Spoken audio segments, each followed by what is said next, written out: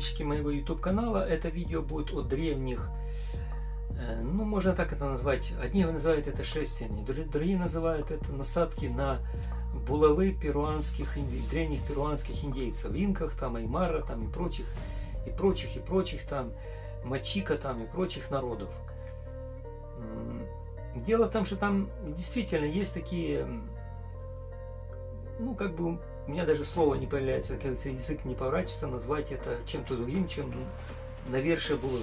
Так оно и есть. Действительно, любой ребенок, даже не изучавший археологию, ну, скажет, что да, какая-то дубинка там навершие дубинки, вершина булавы.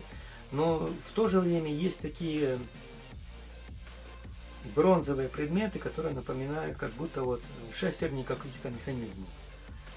По интернету выявляют гипотезы, чуть ли не это какие-то запчасти от виман летающих, э, до как будто это шестерни тех механизмов, которые древние народы до, до инков и там, до кечу и прочих строили полигональную кладку, а потом туда пришли инки, разобрали эти бронзовые эти машины, Э, и что-то переплавили, а, а, например, эти шестерни стали использовать как э, ну, оружие, навершие дубинок. Кто его знает?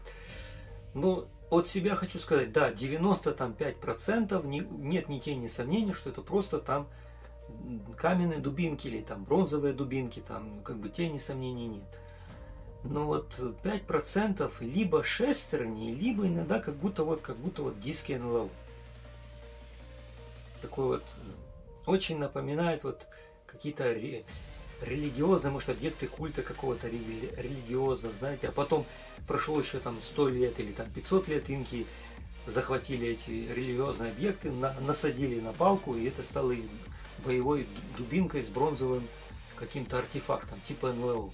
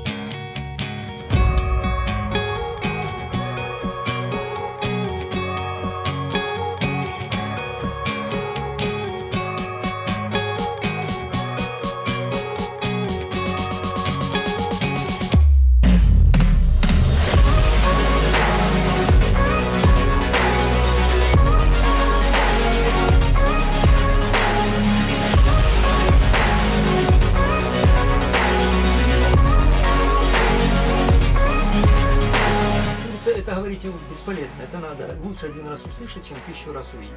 Все фотографии я покажу дальше видео. Неважно, что я говорю, только э, машина времени может дать правильный ответ на все вопросы. Все, что я сказал, не имеет значения. Более подробно вы видите дальше видео. Спасибо за ваш просмотр. Спасибо всем, кто помогает моему YouTube каналу.